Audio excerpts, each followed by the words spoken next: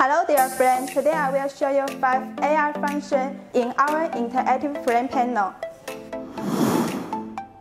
Now I will show you the AI function. Okay, the first function is speech to text. You can choose English change to Chinese. Okay, start here. Hello dear, I will show you AI function. Now I will close here. Can choose this. Stop here. Okay. Now I will show you the second AI function. Meeting recording. You can choose different language. For, for example, Chinese to English. Okay. Now I will show you.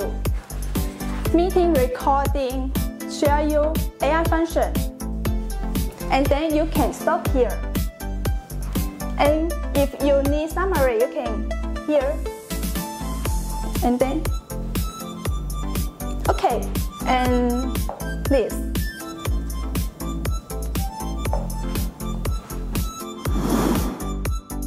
Now I will show you the third function, Q&A.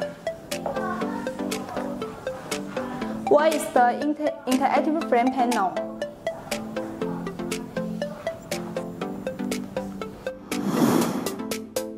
Okay, the fourth AI function is this. Open the camera.